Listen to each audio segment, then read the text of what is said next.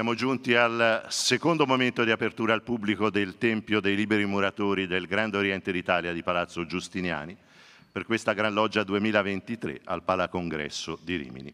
Gli antichi doveri, quali eterni valori, cui essa è dedicata, ci conducono a parlare dell'uomo nell'età della tecnica, con una relazione di un filosofo, psicoanalista e docente universitario italiano ben conosciuto dalla laurea in poi le sue esperienze di insegnamento sono numerose, all'inizio storia e filosofia al ginnasio Zucchi di Monza, poi antropologia culturale alla facoltà di lettere e filosofia dell'Università Ca' Foscari di Venezia, dove ha insegnato anche filosofia della storia, psicologia generale e dinamica, filosofia morale e di cui è adesso professore emerito.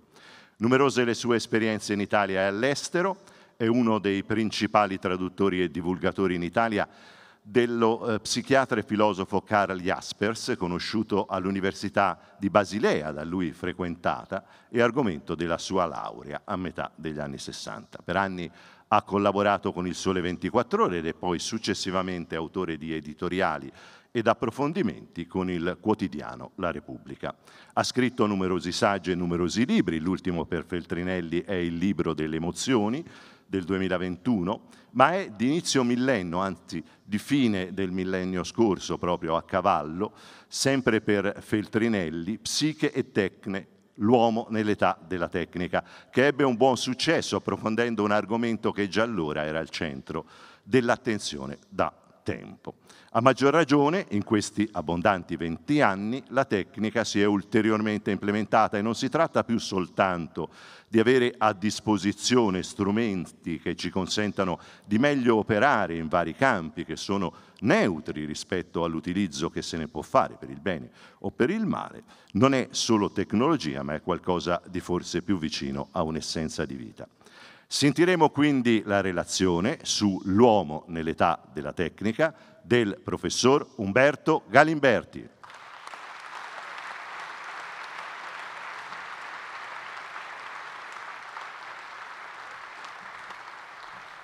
Grazie per essere qui per la Gran Loggia del Grande Oriente d'Italia di Palazzo Giustiniani e dopo il benvenuto che le ha dato il nostro applauso, a lei la parola. Ne possiamo fare anche un altro eh, di applauso.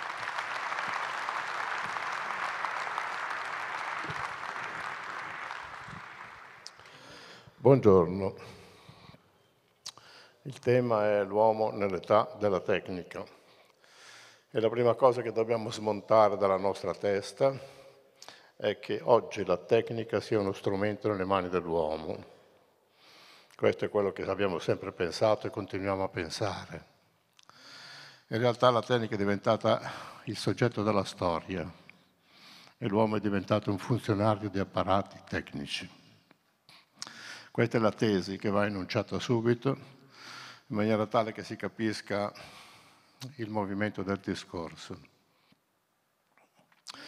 Dunque, il problema della tecnica nasce in Grecia, perché la Grecia riteneva che la natura, che nessun uomo e nessun Dio fece, quindi la natura non era per i greci una creatura di Dio, ma era come loro l'hanno definita una, uno sfondo immutabile che nessun uomo, nessun Dio fece, sempre stata, è e sarà.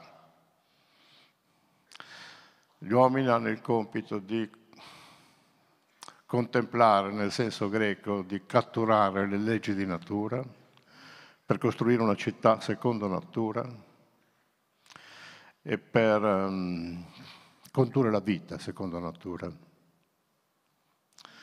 Un giorno Prometeo dona agli uomini la tecnica la capacità del calcolo e soprattutto mm, la capacità di modificare i metalli attraverso il fuoco, rendendo immortali, che sono gli uomini, perché i greci credevano e prendevano sul serio la morte. Avevano due parole per dire uomo, la parola nera e la parola anthropos, non le usano mai usano la parola zanetos, che viene da zanatos, zanatos vuol dire morte, zanetos, mortale. Questa dimensione di concepire l'uomo mortale significa che l'uomo era concepito dai greci al pari di tutti i viventi, come uno che nasce, cresce, genera, muore, senza nessun privilegio rispetto agli altri viventi. Perché la legge è la fissa alla natura e alla natura interessa il ricambio organico degli individui, congedarsi dagli individui vecchi e mettere in circolazione gli individui nuovi, a loro volta destinati alla morte, secondo il ciclo previsto dalla natura. Non c'è nessun primato dell'uomo nei confronti della natura, come invece c'è nella tradizione cristiana. E alla domanda che il coro pone a Prometeo, che aveva donato la tecnica agli uomini, è più forte la tecnica o più forte, sono più forti le leggi di natura? E Prometeo risponde, tecne dananches astenestera macro. La tecnica è di gran lunga più debole, astenestera, debolezza, astenia, della necessità che tiene ferma le leggi di natura. Allora tutto è tranquillo. Anche Sofocle dice che mm, l'aratolo solca la terra, ma la terra si ricompone dopo il suo passaggio. E anche il mare, anche la nave fende le acque del mare, ma la calma trasognata delle acque ricompone la quiete. Quindi nulla si scompone con l'avvento della tecnica in Grecia, perché la natura continua ad avere il primato e costituisce la legge universale di tutti gli eventi umani e naturali. Oggi però le cose non sono più così. E prima però di procedere con questo nostro ragionamento, dobbiamo considerare che c'è un senso in cui è possibile dire che la tecnica è stata la condizione per cui l'umanità ha potuto sopravvivere per la semplice ragione che gli uomini non hanno istinti. Anche se noi continuiamo a considerare gli uomini forniti di istinti, gli uomini di istinti non ne hanno proprio neanche uno. L'istinto è una risposta rigida agli stimoli. Sottolineo la parola rigida, perché se io do una bistecca a una mucca, la mucca non la percepisce come cibo, se gli do un covone di fieno lo divora senza esitazione. Gli uomini non hanno istinti rigidi. Anche il famosissimo istinto sessuale, così poco istintivo, che io posso fare l'amore con un tacco a spillo o con tutte le altre forme di perversione possibili e immaginabili, cose che non sembrano sia concesso agli animali. Oppure posso indirizzare e conferire a una pulsione sessuale una meta non sessuale, ovvero fare un'opera d'arte, scrivere una poesia, comporre un romanzo, quello che Freud chiama sublimazione. Gli uomini non hanno istinti, hanno pulsioni a meta indeterminata. Quindi il fatto che non abbiano istinti è quello che differenzia radicalmente l'uomo dall'animale, per cui quella definizione tradizionale secondo cui l'uomo è un animale ragionevole è una definizione completamente sbagliata, perché l'uomo di animale non ha proprio niente, perché gli manca il principio tipico dell'animale che è l'istinto. E questo eh, ci consente di capire perché l'uomo ha bisogno lunghi anni di educazione per orientare le pulsioni a mete compatibili con la convivenza umana. Gli animali non hanno bisogno di anni di educazione, perché sono regolati dall'istinto, che determina i loro comportamenti per tutta la vita. Per questo gli animali non hanno storia, l'istinto li codifica in maniera deterministica. Ancora, oltre all'educazione, gli uomini, gli uomini hanno bisogno di istituzioni, gli animali non hanno bisogno di istituzioni, non hanno bisogno di politica, perché il loro comportamento è regolato dalla dimensione istintuale, senza oscillazioni e senza variazioni, essendo l'istinto una risposta rigida allo stimolo che proviene dall'esterno. Educazione e istituzioni sono la misura dell'uomo caratterizzato in un certo qual senso di una carenza istintuale che è un deficit, rispetto agli animali è un deficit. Però se sfruttato opportunamente può diventare una grossa possibilità e questo spiega perché se io porto un leone al Polo Nord quello muore, perché l'istinto lo lega a un certo ambiente. Se porto un, un, un animale del nord all'equatore quello mi muore perché è legato al suo ambiente polare, mentre l'uomo, grazie alla mancanza di istinti, ha un'adattabilità a tutte le situazioni e può abitare l'intero universo. Quindi abbandoniamo la concezione che l'uomo abbia istinti e a rimedio della mancanza di istinti è stata consegnata agli umani la tecnica, che incomincia quando l'uomo, non arrivando a prendere la banana con le sue braccia, prende un bastone e abbatte la banana. Lì incomincia la tecnica, che è stata la salvezza dell'uomo. In un certo senso potremmo dire che la tecnica è ciò che ha consentito a, questa, a questo tipo di viventi, privi di istinti, disarmonici con la natura, a salvarsi dalla loro estinzione. Queste cose che gli uomini non hanno istinti e sono stati salvati dalla tecnica, lo dice Platone, Tommaso d'Aquino, Kant, Herder, Nietzsche. Nel secolo scorso l'ha detto Bergson, l'ha detto Arnold Gehlen, quel bellissimo libro intitolato L'uomo. E però tutti quanti continuiamo a pensare che gli uomini hanno istinti.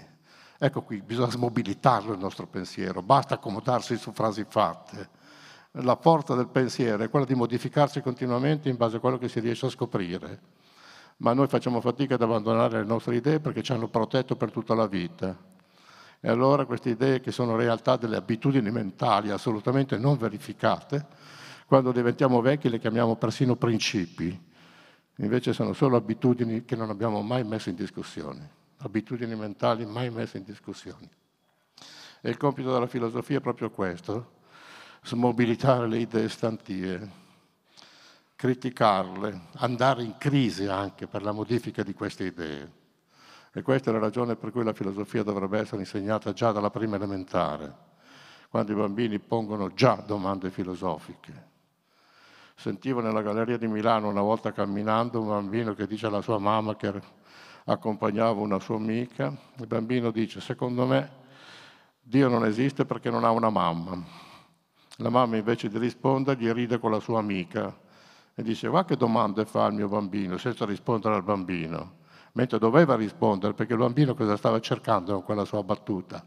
Stava cercando il principio di causalità e allora bisogna spiegarle le cose ai bambini, perché le loro domande sono già filosofiche, ma la filosofia verrà eliminata perché più la società diventa populista, più la società diventa autocratica, più la, più la società assume queste tonalità ha bisogno sempre meno di spiriti critici, è meglio spiriti addormentati, spiriti che ripetono quello che hanno sempre imparato senza mai mettere in gioco le proprie convinzioni. Ed è Platone che mh, mm, aveva incaricato il fratello di, di Prometeo, Epimeteo, i nomi in Grecia non sono inventati. Prometeo vuol dire colui che pensa in anticipo, metis vuol dire pensare, pro in anticipo. Epimeteo è quello che pensa dopo, lo stupido, l'improvvido.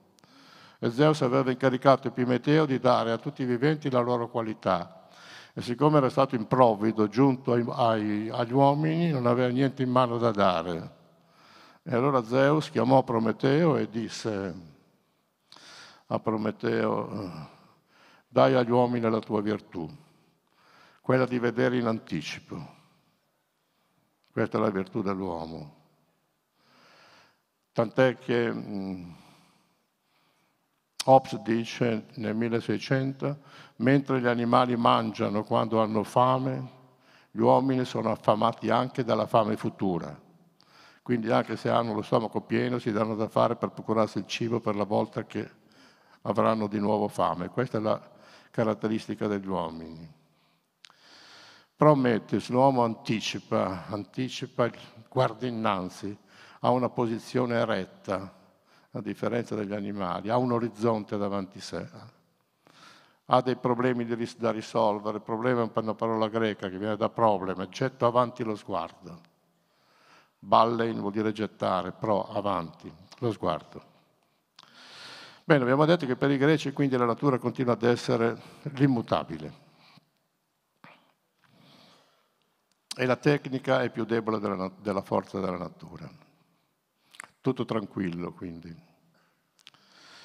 Nel mondo cristiano le cose vanno diversamente, perché nel mondo cristiano, giudaico-cristiano, la natura è una creatura di Dio, quindi è buona, salvo poi quando emette eruzioni vulcaniche, tsunami, terremoti, ma lì questi sono i problemi di coloro che credono in Dio, mettere d'accordo la bontà della natura con i disastri che, la natura fa da sé.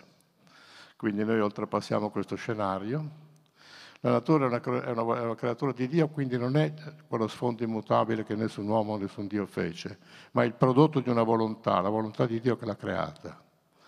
E l'ha consegnata ad un'altra volontà, la volontà dell'uomo. In che modo l'ha, consegnata? L'ha consegnata nella forma del dominio.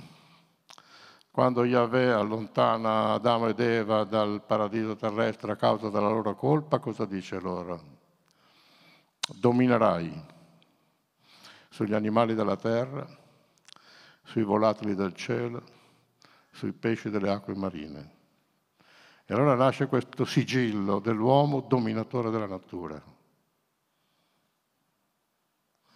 E questo sigillo diventa quasi il messaggio che si protrae per secoli e per secoli l'uomo si sente autorizzato a dominare la natura fino ai giorni d'oggi, dove gli effetti di questi domini si vede a che punto sono giunti, al punto da mettere a rischio la sussistenza della terra. Frase edulcorata, secondo me ormai è già messa a rischio. Ecco, in che senso allora questo dominio è qualcosa di pernicioso? Perché è pernicioso? È pernicioso perché l'uomo è stato concepito come padrone e signore della terra e ha trasformato la terra in materia prima. È cambiata la percezione della terra. Materia prima da usare fino all'usura, dice Heidegger. Nutzung, Vernutzung, usare fino all'usura. Dimenticando che eh, solo qui noi possiamo vivere Potremmo anche andare su Marte, ma per quanto ne sappiamo è solo qui che possiamo vivere. Ma per salvare la Terra bisogna cambiare il paradigma. Bisogna smettere di concepire l'uomo padrone della Terra come se la Terra fosse qualcosa a sua disposizione. E a questo hanno provveduto gli scienziati del Novecento, a partire dalla fisica quantica di Planck, dalla fisica einsteiniana dalla reversibilità della materia in energia, i quali ci hanno insegnato che l'universo non ha un centro, che gli uomini abitano la periferia di una galassia tra le mille galassie che compongono il sistema solare, non è il padrone dell'universo, non ha un centro e soprattutto è dipendente da tutti gli esseri viventi che eh, compongono la natura perché gli animali possono esistere solo nutrendosi dalla fotosintesi delle piante e le piante possono esistere solo se vengono alimentati dall'anidride carbonica prodotta dagli animali e, dai, e dall'azoto prodotto dai microorganismi. Ecco qui il cerchio della dipendenza totale dalla vita umana, dalle piante, dagli animali, dai microorganismi. Siamo tutti connessi, persino il pensiero, dice Oswald eh, Wilson, quello che ha scritto il libro di sociobiologia negli anni 90 e che ha scritto un bel libro intitolato La creazione due anni fa.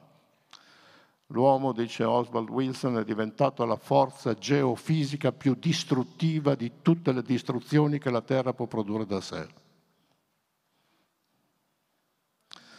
E se, di, e se non riusciamo a concepire questa interdipendenza di tutti gli organismi, lo stesso pensiero è prodotto dalla stessa energia che fa evaporare le acque del mare, che fa scendere la pioggia del cielo, per far crescere le produzioni sulla terra. È tutto connesso.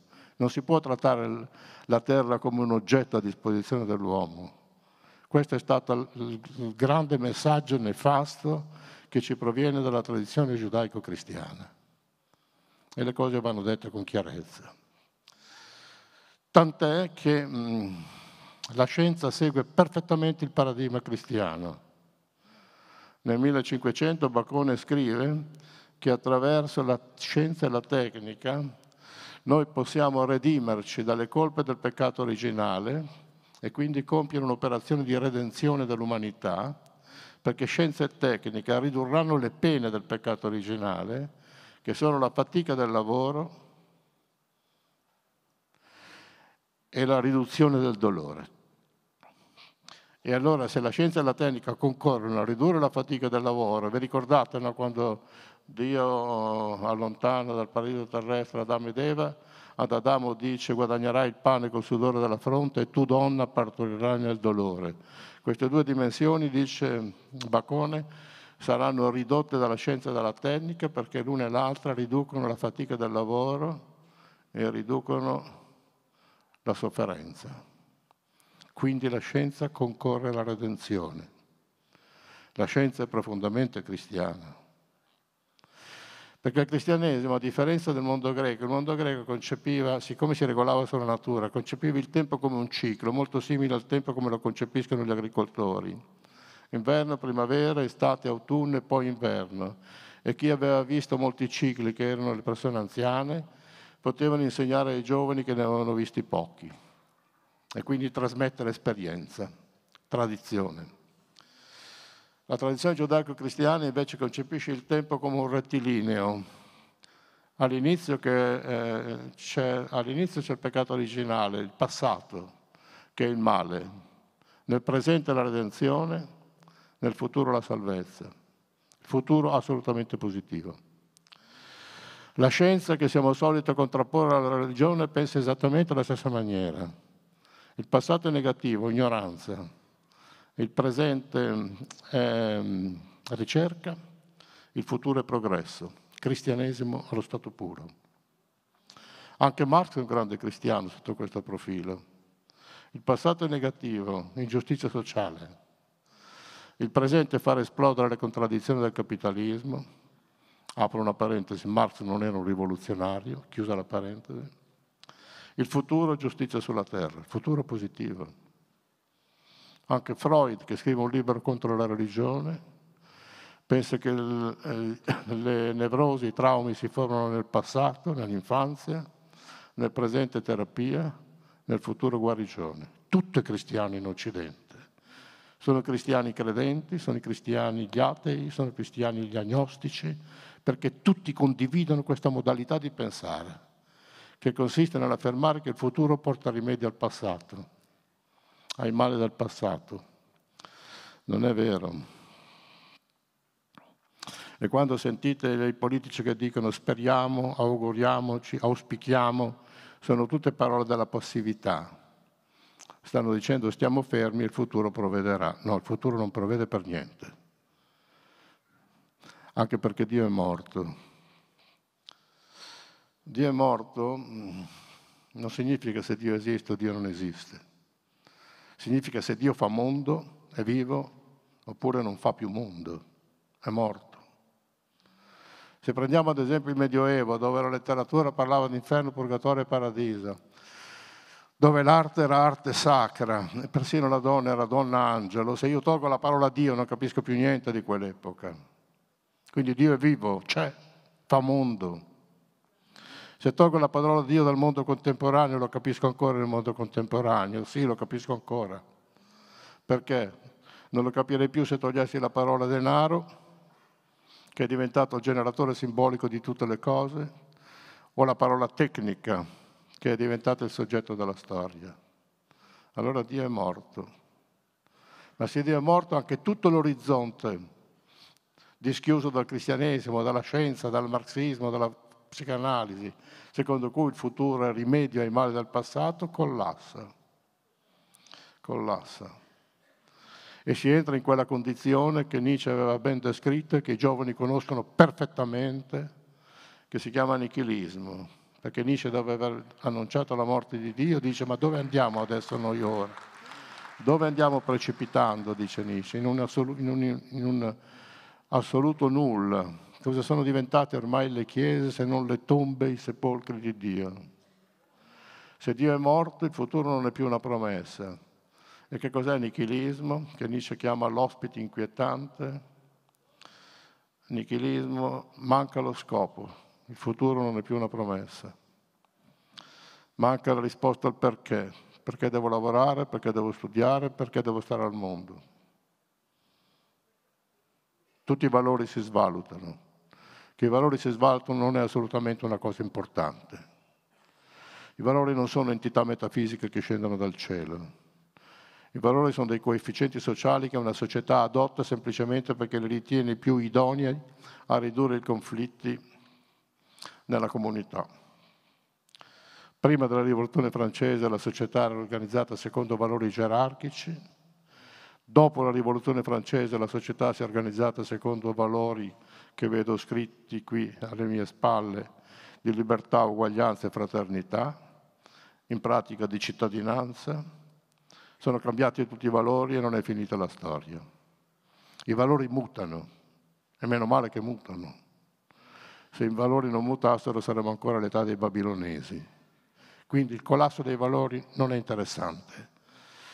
E quando le persone anziane dicono ai loro figli e nipoti, ah, ai miei tempi, non lo dite mai ai miei tempi, perché i vostri tempi, cari signori della mia età, erano molto fortunati rispetto ai tempi dei giovani di oggi, molto.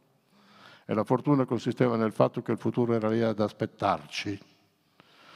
Io ho insegnato in una prima, seconda liceo e terza liceo per un anno intero da supplente in sostituzione di una professoressa che non poteva più insegnare perché aveva una gravidanza a rischio quando ancora non ero laureato, ho insegnato in prima, seconda e terza liceo e frequentavo il quarto anno di filosofia. Perché? Perché non c'erano filosofi e quindi il futuro era lì ad aspettarmi. Oggi se un ragazzo si laurea in filosofia potrà fare tante cose, ma la, la prima cosa che deve togliersi dalla testa è di andare a insegnare filosofia. Quindi il futuro è cambiato. Ai nostri tempi era lì ad attenderci. Oggi se non è una minaccia è imprevedibile e se è imprevedibile non retroagisce come motivazione, quando addirittura non agisce come disperazione. Non è un caso che in Italia si, si, si suicidano 400 studenti all'anno. La televisione fa bene a non dirlo perché sennò ci sono anche processi di imitazione. Ci sono 3 milioni di anoressiche, ci sono 2 milioni di autolesionisti, ci sono 200.000 persone che stanno chiuse nella loro stanza affette da quella sindrome coreana, giapponese, Kakikimorum, dove stai sempre collegato col computer, parli solo con i tuoi collegamenti, non esci mai dalla tua stanza, i genitori provvedono a farti avere nella tua stanza il cibo e quello che serve per le tue attività fisiologiche e poi dopo due anni si suicidano. Quindi i giovani stanno male, perché il futuro non c'è non è lì ad aspettarli. E io sono convinto che i giovani oggi si drogano, bevono, bevono tanto. Non credo tanto per il piacere che possono dare queste sostanze, quanto piuttosto perché bere e drogarsi lavorano come, come un anestetico. Si anestetizzano dall'angoscia che provano quando sporgono con il loro sguardo sul futuro e il futuro non prospetta loro granché. Quindi sono droghe anestetiche, non, non riguardano il piacere o l'emozione, ma riguardano l'anestesia dell'angoscia. Chiudo la parentesi per farvi capire che cosa significa il nostro tempo e che cosa si produce nel nostro tempo, che siamo solo a metà del discorso che non possiamo evitare di guardare, che si chiama nichilismo. Ospite inquietante. Dice bene Heidegger commentando queste parole di Nietzsche, Dice, l'ospite inquietante è inutile metterlo alla porta perché già da tempo si aggira per la casa. Nostro compito è guardarlo bene in faccia. Perché uno dei problemi da risolvere è che non bisogna lavorare sulla base della speranza, dell'ottimismo e di cose di questo genere. Se vogliamo modificare le cose bisogna guardare la realtà così com'è.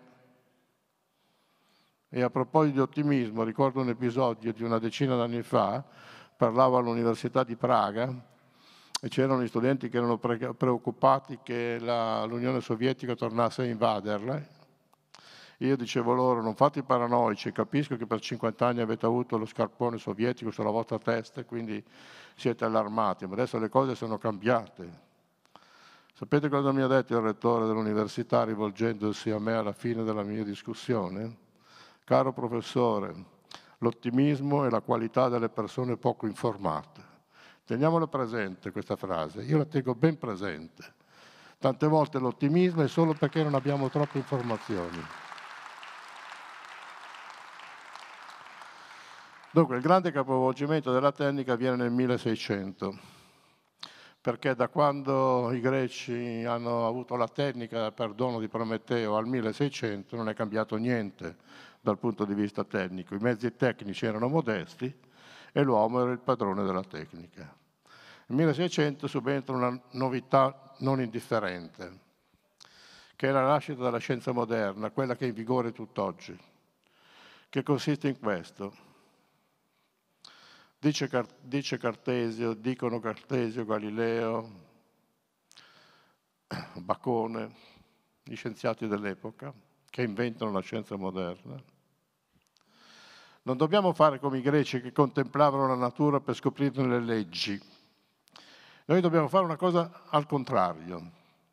Noi, noi uomini, noi scienziati naturalmente, anticipiamo delle ipotesi, sottoponiamo le ipotesi a esperimento. Se l'esperimento riesce, assumeremo le nostre ipotesi come legge di natura. Si capisce? Non stare a cercare le leggi di natura osservando la natura, ma anticipando delle ipotesi, sottoporle all'esperimento e se l'esperimento riesce assumiamo le nostre ipotesi come leggi di natura. Leggi eterne? No, finché non ne troveremo di migliori, più comprensive più esplicative.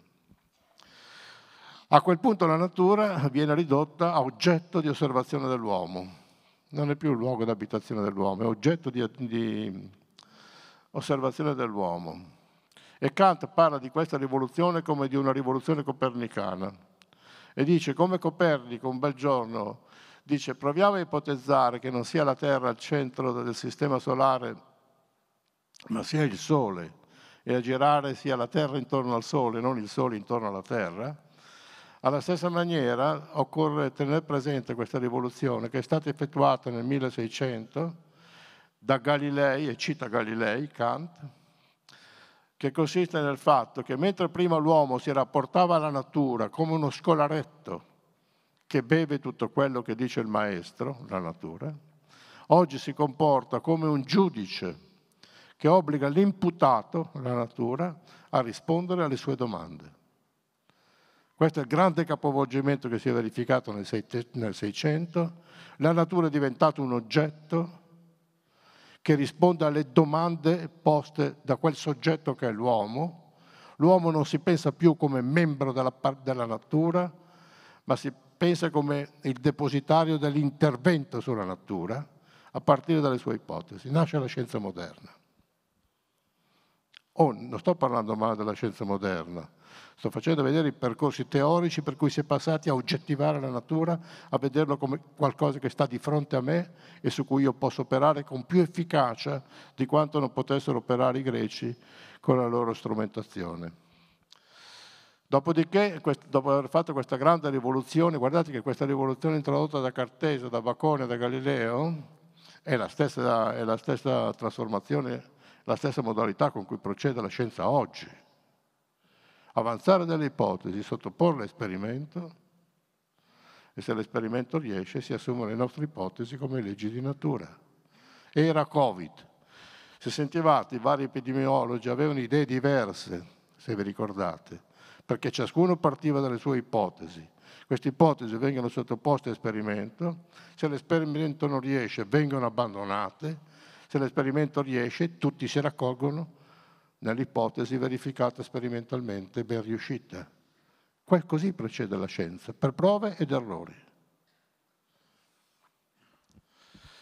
Dopodiché nel 600 si continuava ad arare i campi come li aravano i babilonesi e i greci, non era cambiato niente dal punto di vista della tecnica. Però c'è un altro filosofo nel 1800, tra il 1810 e il 1820, che in un libro di logica scrive due cose importantissime. La prima, la ricchezza delle nazioni non, non sarà più, come aveva detto 40 anni prima Adam Schmidt, non consisterà più nei beni che si possiedono. Questa era la tesi di Adam Schmidt, che aveva scritto il primo trattato di economia politica sull'origine e la natura della ricchezza delle nazioni. Ma la ricchezza delle nazioni consisterà non nel possesso dei beni, ma nel possesso degli strumenti. Perché i beni si consumano, mentre gli strumenti producono i beni. Per cui è più ricco chi ha gli strumenti di chi ha i beni aveva già capito che la tecnica avrebbe spostato la ricchezza dal bene alla produzione del bene, cioè allo strumento. Il secondo teorema è ancora più radicale, più interessante.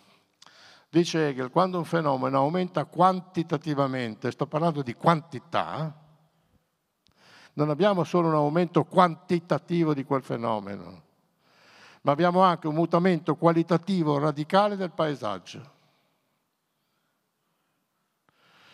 Se qui viene un terremoto di due gradi della scala Mercalli non ce ne accorgiamo neanche, se però aumenta quantitativamente e arriviamo al nono grado della scala Mercalli, qui abbiamo un mutamento qualitativo del paesaggio, cioè questa sala non c'è più, abbiamo un cumulo di macerie.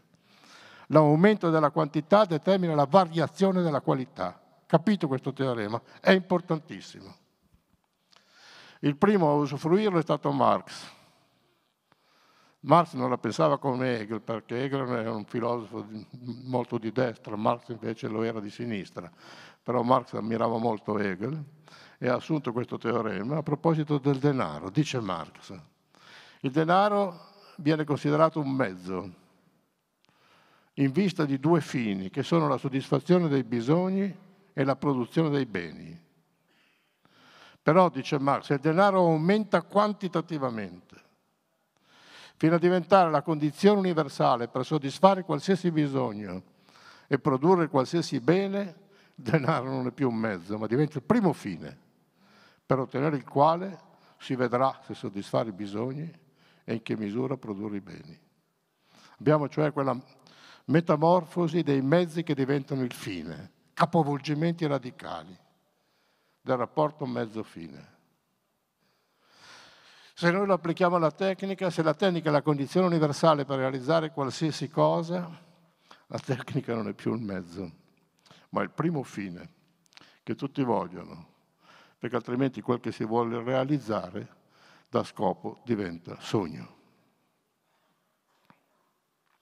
Ecco cosa vuol dire aumento quantitativo di un fenomeno. Ecco perché dico che la tecnica oggi è il soggetto della storia, non più uno strumento nelle mani dell'uomo perché è aumentata quantitativamente. Non avete scelto voi di parlare oggi col telefonino. È stata la, la, la tecnica che ha deciso che d'ora innanzi si parla col telefonino. Ha esondato dal suo scenario, è diventata sociologia. Accompagnando mio nipotino a scuola, una signora che mi ha riconosciuto mi ha detto, professore, mio bambino fa la quarta elementare e vuole uno smartphone. E io gli ho detto, glielo dia. Ma perché dici che devo dargliela? Perché se non glielo dà non è che lo priva di un mezzo tecnico, lo priva della socializzazione. Quindi la tecnica ha già deciso il modo con cui noi dobbiamo socializzare. Non è qualcosa che sta nel suo ambito la tecnica. E non c'è etica e non c'è politica che possa contenerla.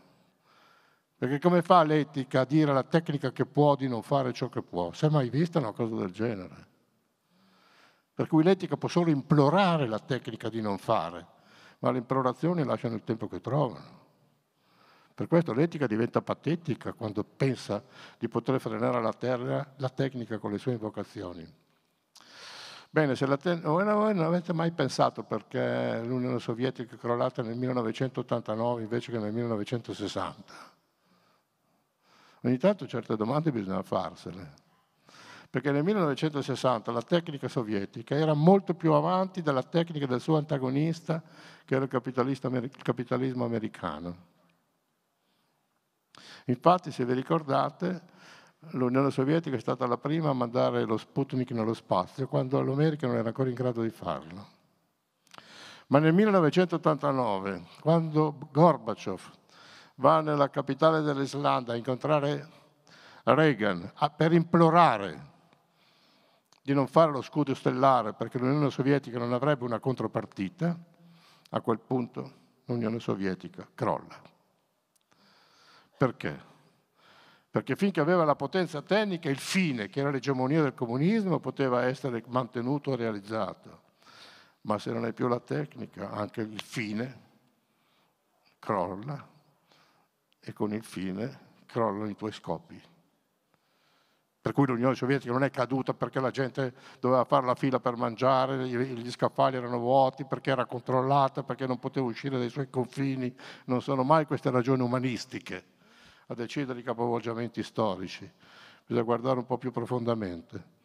È stata la tecnica, l'insufficienza tecnologica dell'Unione Sovietica a far crollare l'Unione Sovietica.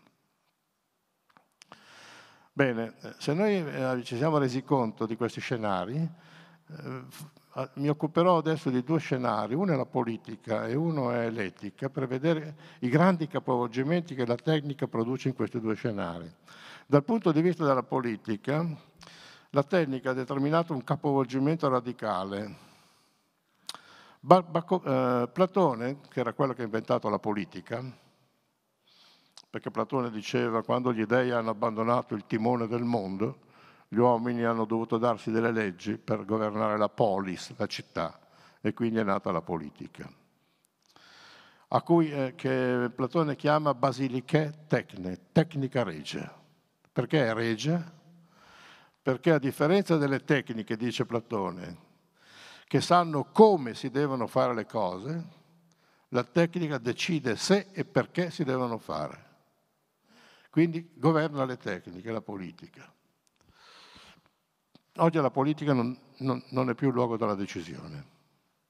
Diciamolo chiaro, netto e tondo. Perché per decidere la politica guarda l'economia. E l'economia?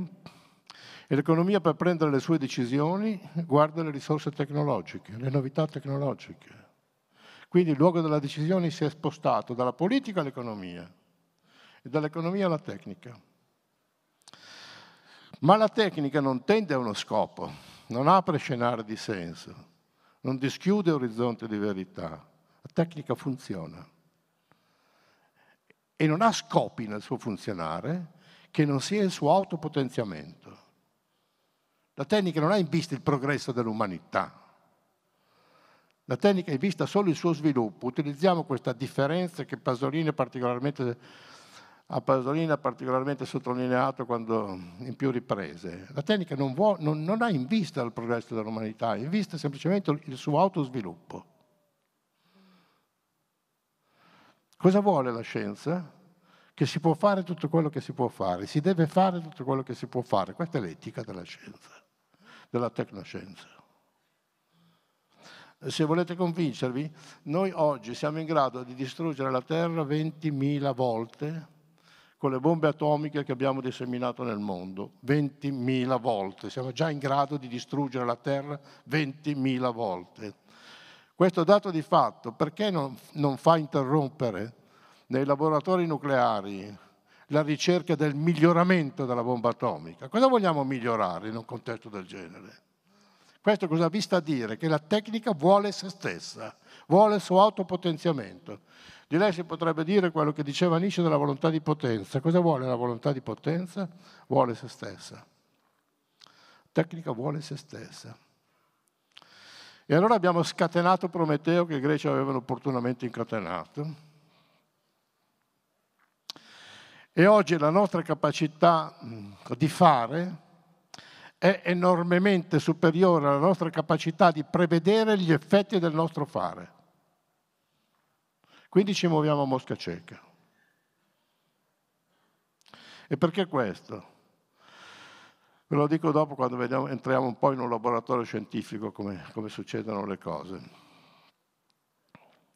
La democrazia, la democrazia soffre. Cominciamo a dire che la democrazia non significa andare a votare, questo è necessario farlo e guai a chi non lo fa.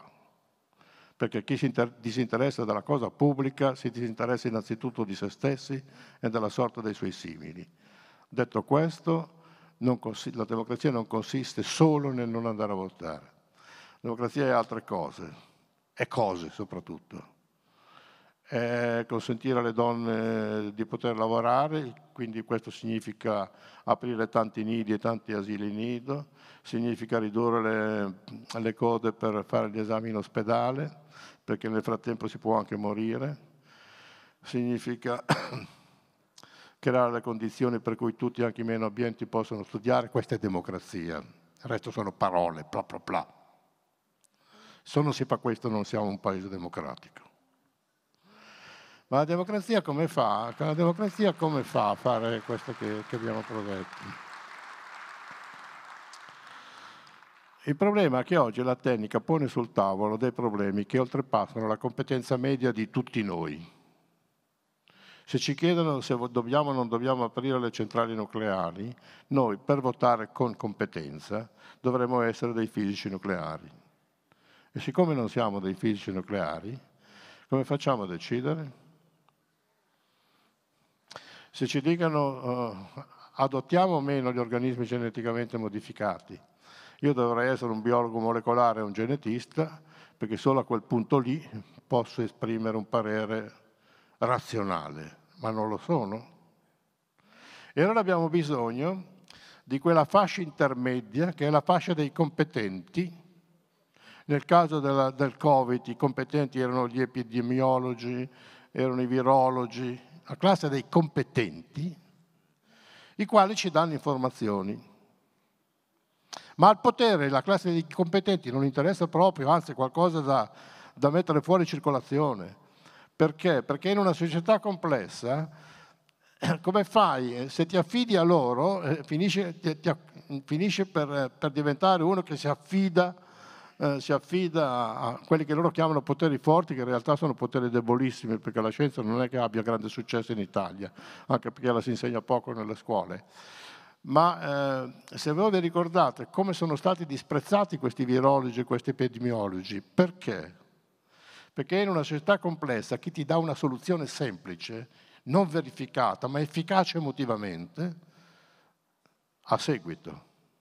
Il populismo è questo, far fuori il sapere, abbassare il livello delle scuole, che in Italia è disastroso, perché la scuola italiana al massimo istruisce ma non educa, abbassare il livello delle scuole, abbassare l'informazione, ridurre l'atteggiamento critico, creare persone disinformate che stanno a bere chi è efficace. Questo problema l'aveva già visto Platone.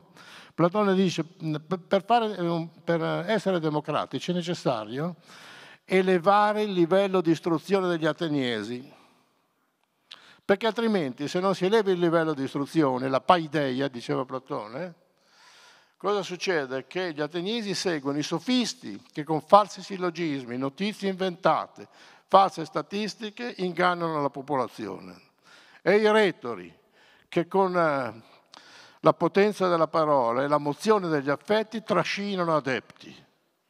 Ma su queste basi irrazionali la democrazia è impraticabile, diceva Platone. Pertanto, finché non avremo sollevato il livello di istruzione degli ateniesi, è bene che, eh, che la città sia governata dai migliori, gli aristoi, quelli che potremmo chiamare oggi governi tecnici. Noi ne avevamo uno molto buono, l'abbiamo buttato via. Così, tanto ne abbiamo in abbondanza, no? Si vede? Governi tecnici. Quindi anche la democrazia è a rischio. Passiamo all'etica. Tenete presente poi che nell'età della tecnica non sono più necessari gli scioperi, le adunate di massa, la rivolta degli operai, sì ci sono ancora, ma sono più coreografiche che capaci di ottenere dei risultati. Io sono contento quando ci sono, perché quando uno sta male ed è in sofferenza, se si trova insieme ad altri, non dico mal comune e mezzo gaudio, ma quantomeno riceve un conforto. E ogni cosa che conforta nelle difficoltà della vita è cosa buona, però non ottiene niente. Perché? Perché la tecnica non ha bisogno più delle piazze. Non è che le piazze non ci sono più perché è crollato il comunismo, le piazze non ci sono più perché è arrivata la tecnica. Perché la tecnica cosa fa la tecnica? A lei è sufficiente che un piccolo settore di una sequenza tecnologica si astenga dal lavoro, che si deve fermare tutta la sequenza. Se dieci controllori di volo di Linate si astengono dal lavoro, per un giorno non funziona più tutta la navigazione aerea. Non abbiamo bisogno più delle piazze, la tecnica ci dà questo privilegio, piccola sospensione di piccoli settori, quello che gli americani chiamano no making power, il potere di non fare, di piccoli settori, che sono molto più efficaci di quanto non siano efficaci gli scioperi generali. Cambiato tutto il rapporto sociale sulla base della sospensione o della continuazione del lavoro. L'etica, l'etica nell'età della tecnica è diventata, dicevo prima, patetica. Noi abbiamo conosciuto tre etiche nell'età della tecnica. Faccio breve perché dopo un po' sarete stanchi morti. La prima etica è l'etica cristiana, che è stata una grande etica, che ha costruito tutto l'ordine giuridico europeo. È un'etica che si fonda sull'intenzione, che è derivata dalla stessa religione. Non so, quelli eh, vecchi come me che a suo tempo sono andati a catechismo, hanno imparato che per fare un peccato mortale ci vuole piena avvertenza, devi sapere cosa fai, e deliberato consenso, devi volerlo fare. Se ci fate caso, queste categorie le abbiamo trasferite rigorosamente nell'ordine giuridico, perché tu sia colpevole è necessario che cosa? Capacità di intendere e di volere, cristianesimo puro. L'etica dell'intenzione. L'etica dell'intenzione ha regolato tutto l'ordine giuridico e continua a regolarlo tuttora, per cui di fronte a un delitto io posso, sono colpevole se avevo intenzione di compierlo altrimenti se l'ho compiuto senza avere intenzione, ho preso sotto una persona, il mio delitto è colposo, non, è col- non sono colpevole. Oppure è intenzionale, oppure preterintenzionale. Capite quest'etica dell'intenzione che tuttora governa tutto l'ordine giuridico? Allora la domanda è, è interessante conoscere che intenzioni avevano Fermi e Oppenheimer quando hanno inventato la bomba atomica? Assolutamente no è molto più importante conoscere gli effetti della bomba atomica. Cioè passare il giudizio non dalle intenzioni con cui tu compi un'azione, ma agli effetti che la tua azione compie. Questo è molto più interessante. A insegnarci queste cose sarà Max Weber nel 1900, la prima decade del 1900. L'altra etica interessante è quella di Kant, il quale Kant dice fino adesso le nostre morali sono discese dalle varie religioni, ma siccome le religioni sono tutte diverse e la morale deve funzionare alla maniera identica per tutti, costruiamo una morale solo sulle basi della pura ragione, supponendo che tutti ragionano naturalmente. E allora cosa fa? Formula questa nuova morale, in quella formula diventata famosa, bisogna trattare l'uomo sempre come un fine e mai come un mezzo. E qui Kant non si accorge che questo è proprio il principio del cristianesimo, perché trattare l'uomo come un fine e mai come un mezzo significa ribadire che l'uomo è al centro del creato ed è la finalità a cui tutte le cose si devono rivolgere. È un'etica che non si è mai realizzata. Se qui viene un immigrato, il fatto che sia uomo non, fa, non ce lo fa trattare come un fine, ma ce lo fa trattare come un mezzo qualora renda profitto. No? Ma a parte questo, mm, quest'etica nell'età della tecnica non funziona più. Trattare l'uomo come un fine cosa vuol dire? Che tutto il resto può essere trattato come un mezzo? L'acqua oggi è un mezzo o è un fine da salvaguardare? L'aria è un mezzo o un fine da salvaguardare? E la, la fauna, e la flora, e l'atmosfera, e la biosfera, sono tutti mezzi? O li dobbiamo salvaguardare? perché se non li salvaguardiamo è finita la storia umana sulla Terra. allora anche questa etica non funziona. Max Weber dice giustamente e opportunamente quello che dicevo prima, l'etica dell'intenzione non funziona, bisogna passare all'etica della responsabilità, che consiste innanzitutto che a me le, tue, le intenzioni per cui tu compi le azioni non mi interessano perché in interioritate hominis, nell'interiorità dell'uomo, è molto difficile entrare. E poi non mi interessano granché perché mi interessano gli effetti delle tue azioni. Allora tu sarai misurato sugli effetti delle tue azioni, non sulle intenzioni che le hanno promosse e che sono inverificabili. Però Weber è intelligente e apre una parentesi, finché gli effetti sono, sono verificabili. Ora è proprio della tecnoscienza produrre effetti inverificabili. La scienza non sa cosa cerca e quello che trova sono effetti di sperimentazioni riusciti, riuscite, sono effetti di procedure riuscite.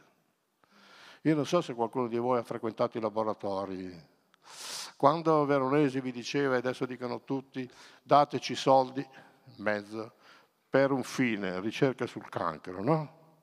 E fa così perché, perché lui sa che noi da, da animali mal ridotti pensiamo sempre in termini finalistici, ma la scienza non pensa in termini finalistici, pensa in termini procedurali. Che significa questo? Vogliamo trovare qualcosa per il cancro, allora tu cerchi per 15 anni, studi questo neurotrasmettitore, tu per 10 anni studi questa cellula, tu per 15 anni studi questa molecola. 3 vuol dire 300.000. ecco. Se poi da questi studi salta fuori qualcosa di positivo, bene, viene utilizzato per, eh, ridurre, per guarire le malattie. Se invece non succede qualcosa di positivo, Amel viene tutto abbandonato, e si ricomincia, si, si rinuncia, si ricomincia da un'altra parte. Ma allora quello che si trova è l'effetto di procedure riuscite. Capito? Non è lo scopo. Mia moglie, che è morta nel 2008, era una biologa molecolare, aveva due cattedre all'Università di Milano, biologia molecolare e biotecnologia, e per dieci anni eh, ha cercato una cosa che si chiamava di aspartato ossidase, non mi, dite, non mi chiedete che cos'è perché ho già sofferto troppo per questa ricerca, perché era il tema abituale di tutte le discussioni. L'hai trovato o non l'hai trovato, sto di aspartato ossidase? Poi gli americani hanno abbandonato le ricerche, poi anche i giapponesi, a quel punto mi sono sentito mi sono sentito di dire, Tatiana, ma forse di aspartato ossidase non c'è possiamo anche smettere di arrovellarci il cervello su questo di apartato ossidase. 15 giorni dopo l'ha trovato. Alla mia domanda, che cos'è di aspartato ossidase? Volete sentire la sua risposta? E che ne so? Capito che cosa vuol dire fare ricerca scientifica? E che ne so? Noi non dobbiamo, non dobbiamo cercare le cose perché sappiamo, quando abbiamo trovato qualcosa questa ci servirà per scoprire più in là che cosa servirà. E dice, ma qual è allora la vostra etica? Conoscere tutto ciò che si può conoscere e di conseguenza fare tutto ciò che si può fare. Al di là di tutti i divieti etici, politici che possono intervenire in questa, in questa logica della scienza. Non so che cosa serve, si scoprirà. Adesso si è scoperto che è un neurotrasmettitore molto utile per la costruzione di tanti farmaci. Adesso, ma lei non lo sapeva e non lo sapeva nessuno, però aveva scoperto la formula, la sequenza. Dieci anni. Capite cosa vuol dire fare scienza? E quello che noi conosciamo non è lo scopo cui, per cui si parte, ma è l'effetto di una procedura parziale che poi produce altre procedure, poi alla fine se vanno bene producono qualcosa, altrimenti no. Quando è cominciato l'età della tecnica, qui chiudiamo perché sarete morti di stanchezza, io seguo l'ipotesi di un filosofo che era allievo di Martin Heidegger, che è ebreo, scappato dal nazismo, andato in America, a lavorare alla Ford e ha scritto al suo maestro, maestro lei mi ha insegnato che l'uomo è il pastore dell'essere, io qui alla Ford sono il pastore delle macchine. e nel rapporto uomo-macchina la guida è già passata alla macchina. Gunther Anders dice che l'età della tecnica è cominciata col nazismo. Non è cominciata con la rivoluzione industriale, tutte quelle cose lì dove l'uomo era ancora padrone in qualche modo delle macchine, azionava le macchine, eccetera. È cominciata col nazismo che lui definisce un teatrino di provincia rispetto all'età della tecnica. È una frase molto forte, detto però da un ebreo che è scappato dalla Germania. Io sono d'accordo con lui, non tanto nella proporzione che lui pone, ma nella logica che sottende questo paragone. La logica è stringente ed è la seguente. Ve la esplico senza troppi ragionamenti con un esempio un giorno Gitto Sereni, che è una giornalista ungherese naturalizzata inglese, fa 170 interviste al direttore del campo di concentramento di Treblinka, tale Franz Stangl, morto una decina d'anni fa, senza mai passare un giorno in galera.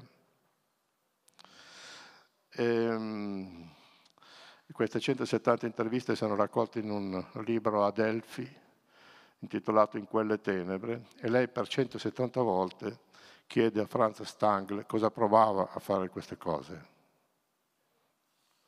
Franz Stangl non risponde mai a questa domanda. A un certo punto a Gita Sereni viene il sospetto che Franz Stangl non risponde non perché si vergogna, ma perché non capisce la domanda. Alla fine Franz Stangl si irrita e dice scusi perché lei continua a chiedermi cosa provavo? Io non ero incaricato di provare qualcosa, io ero incaricato di far funzionare il sistema, questo era il mio compito. E se il sistema prevedeva 5.000 soppressioni di, di, uomini entro le 11 del mattino e 3.000 entro le 5 del pomeriggio e l'indomani bisognava fare tutto piazza pulita per ricominciare da capo con lo stesso ritmo, io ero un ottimo funzionario.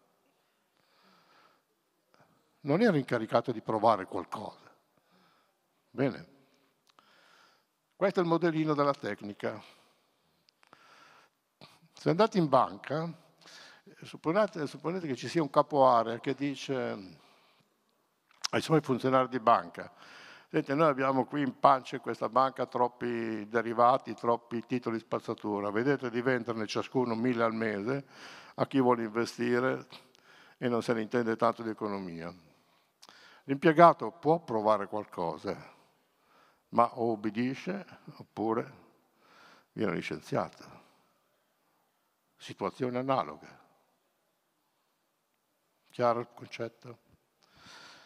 Quando nel Bresciano si costruiscono le mine anti-uomo, quando uno è bravo operaio, bravo operaio, quando su 100 che ne costruisce 90 saltano per aria, perché se su 100 che ne costruisce ne saltano solo 50 non è un bravo operaio. E allora cos'è il bravo, il bene e il male?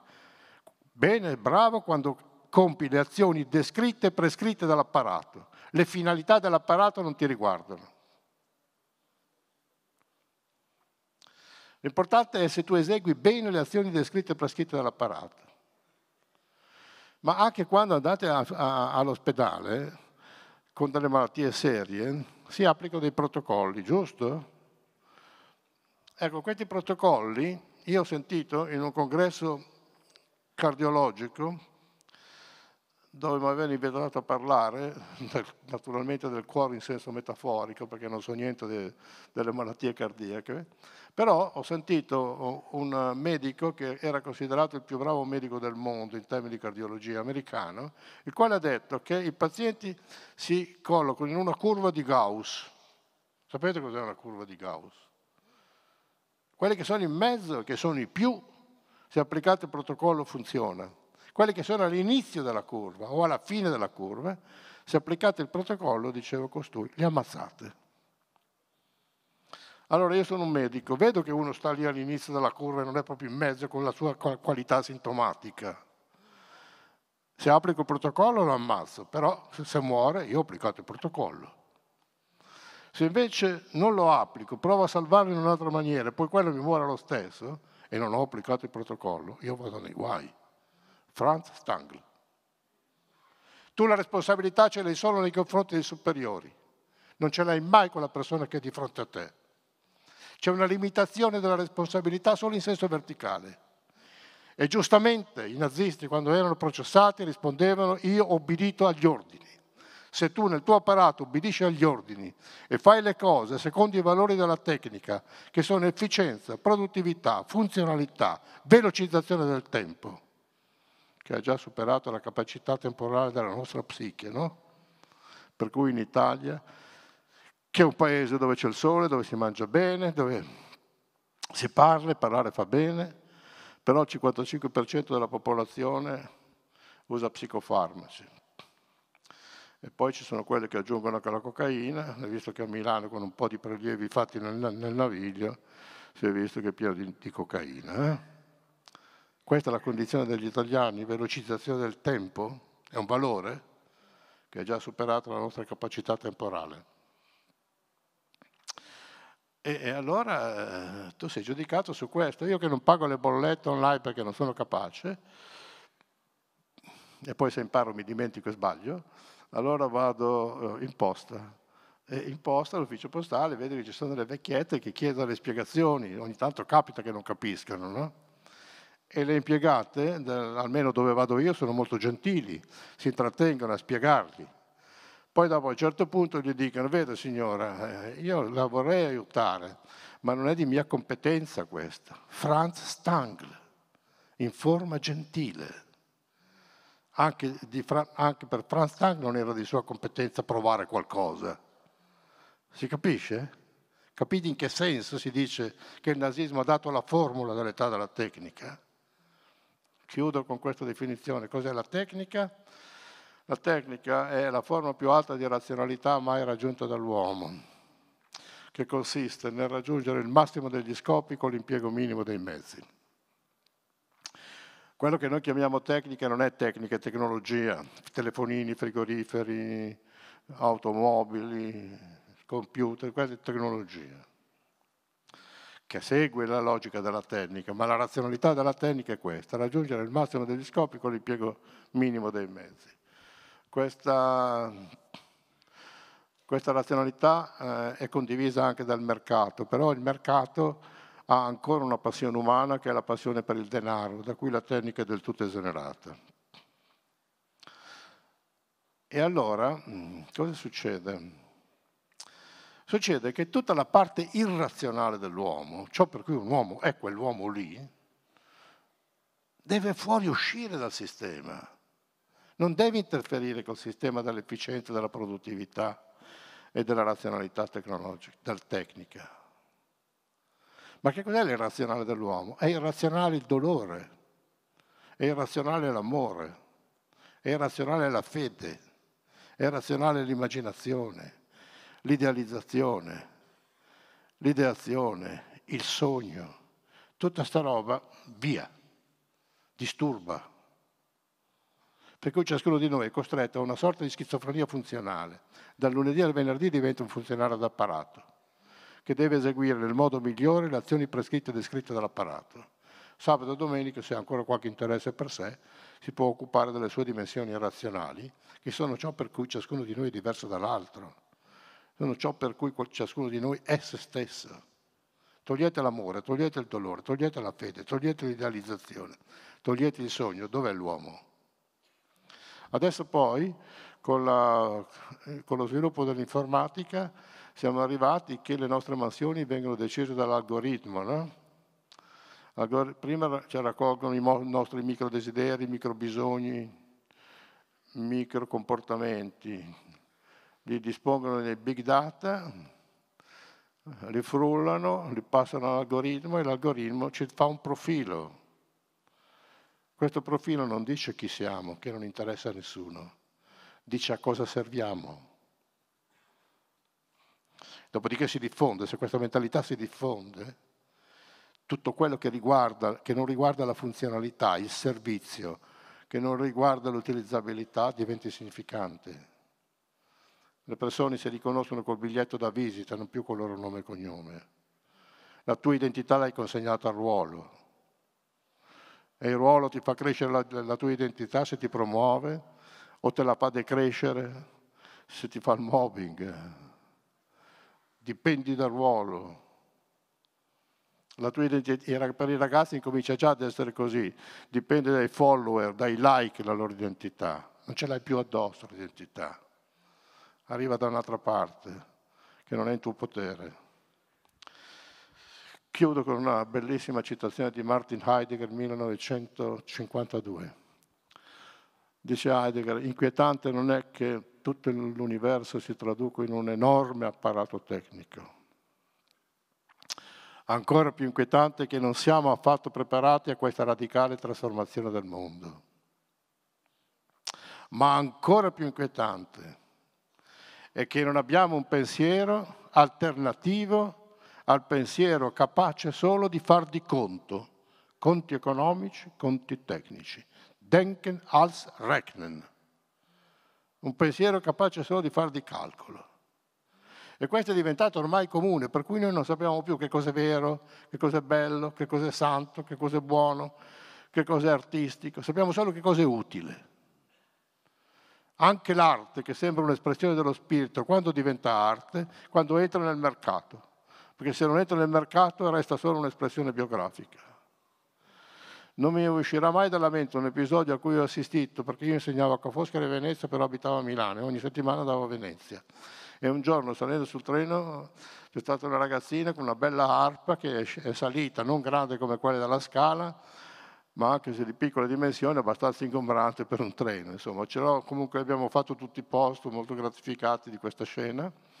C'era un signore molto elegante che si è messo a parlare con lei per lungo tempo, con quali altri strumenti si suona l'arpa, in quali concerti si usa, quante ore di servizio deve fare, tutte queste belle cose. Molto interessato e molto gentile.